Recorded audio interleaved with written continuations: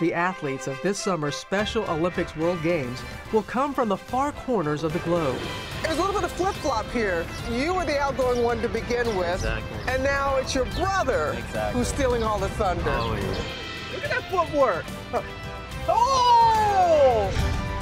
So get ready to be inspired and awed as you cheer for the men and women who are the true definition of what it means to be an athlete.